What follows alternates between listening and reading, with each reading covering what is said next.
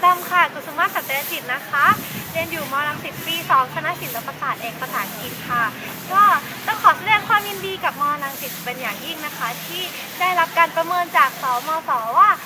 เป็นมหาลัยที่อยู่ในเกณฑ์แบบดีมากๆค่ะอ่าแล้วตามก็หวังว่ามรังสิตของเราเนี่ยจะอยู่ในเกณฑ์ที่ดีมากยิ่งยิ่งขึ้นไปนั่นเอง